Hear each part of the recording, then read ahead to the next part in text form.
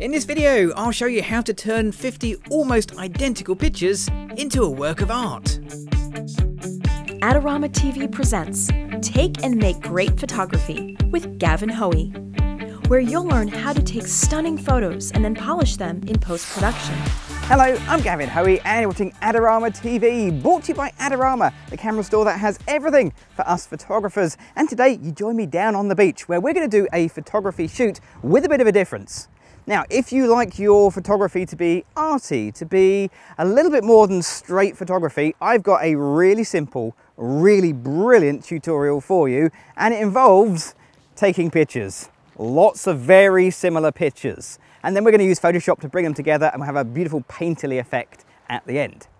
Now to achieve this, I've got a couple of things. I've got a, a lovely beach, which is handy. Uh, I've got my model down there who is holding a red umbrella. And we've got a beautiful blue sky. You can see there's been a little bit of planning involved with this. And all I'm gonna do is just take a picture and then I'm gonna repeat the picture over and over again. But each time it'll be ever so slightly different as we walk our way along the beach. So that's the theory.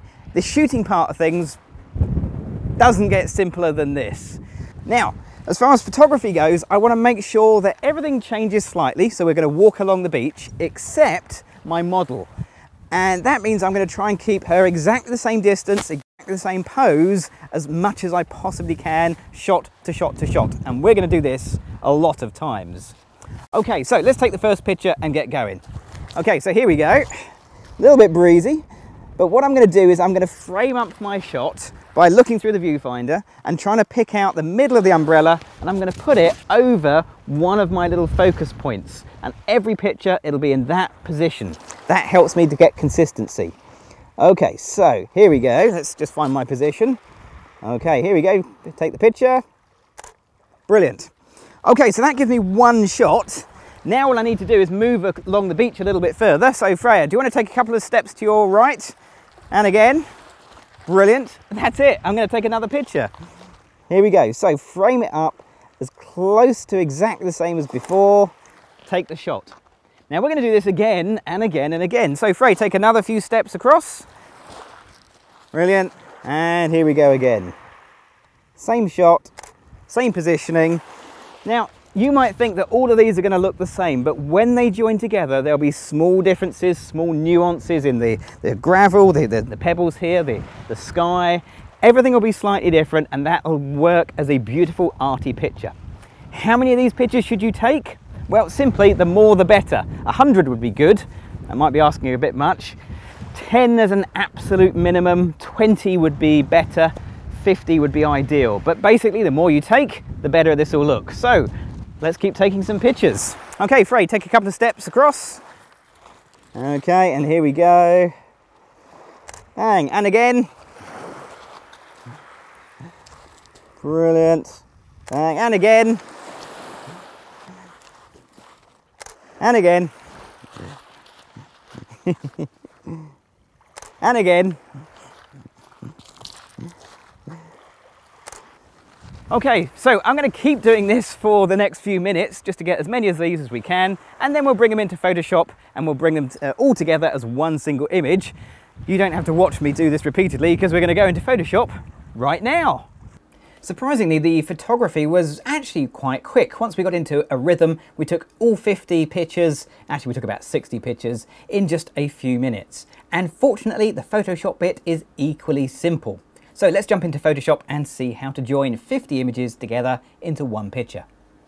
So first of all, I'm working in Photoshop CC, although you can do this in older versions of Photoshop as well. And I'm going to use a very neat trick that Photoshop has hidden away under File, Scripts, and Load Files into Stack. Now I've already gone through and I've sorted through to the, the 50 images from that image sequence. So I'll go to Browse and I'll go find them. Here they are. I'm just going to click on the first one and then press Control A or Command A on a Mac so they all become selected and then I hit OK. Now that will load all 50 images into the Load Layers interface. It just takes a second or two. And there we go. Now I'm not going to put a tick in automatically align source images and I'm not going to tick smart objects. Basically I'm just going to click OK. So what Photoshop now does is it goes and gets those 50 raw files, applies any raw settings that I may have added, and then opens them in Photoshop, putting each one on its own separate layer. Now think about it, if I had to do this by hand, open, copy, you know, paste, go back and repeat, it would take me forever to do. And it's got 50 images to do. So don't be surprised that even Photoshop working flat out will take a couple of minutes to apply all 50 layers as layers. Now, one thing you can do at this point is uh, sit back, try not to spill your coffee, have a, have a nice cup of tea. You'll find that much more relaxing. And join me in just a second. Don't forget to check out Adorama's latest contest and your chance to win amazing prizes. Oh, there we go. That's it. Done. Okay, so actually that didn't take long at all, just a, a, couple of minutes. I haven't even finished my tea. But the next bit in Photoshop is really straightforward. Let's have a little look.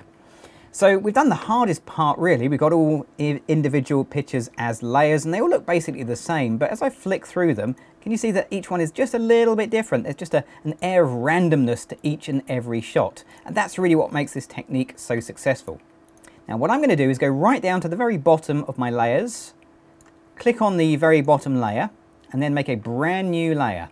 Layer, new layer, click OK. And on that layer, I'm going to fill it with black using Edit and Fill. And from the contents, I'll make sure that black is selected and click OK. Now it won't actually be the bottom layer, it will be one up, so we'll just drag that down right to the bottom like so. Now that's an important step, don't miss it out. Then we're going to click on the layer above, scoot right back up to the top, hold the shift key and click on the top layer so they all become selected. Now all I need to do is just drop the opacity so that each layer forms just a small part of the whole picture.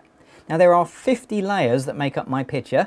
Now you might do a bit of maths, 100% divided by 50 layers, 2% per layer. It's not quite that simple. I wish that it was. But instead what we're going to do is we'll get the opacity slider and we're just going to bring it down and down and down. And as I do, you'll see that the individual pictures start to merge and combine. And as I go lower and lower, it becomes more and more painterly. Now, if I go too low, it starts to get quite dark and we lose a lot of the detail. So too low is not a good idea. Let's just bring it back up. I reckon about 8% looked about right. Once you've got it good, just go to layer and choose to flatten the image and then just to bring back a little bit of brightness, a little bit of detail, let's go to Image, Adjustments, Brightness and Contrast, and I'll just put a little bit more brightness and a little bit more contrast into the shot, just like so. Click OK, and there you go. There's my image completed with all its glorious individuality and a super painterly effect. So there we go, that's a really simple technique and it'll work on anything that has a really obvious pattern like people, bicycles, shapes that are familiar and obvious to you.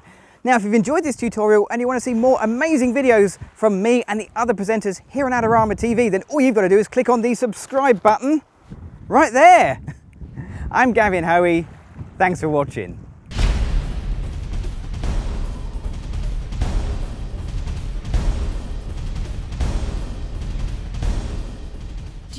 Great looking prints at low cost? Be sure to visit our easy to use online printing service.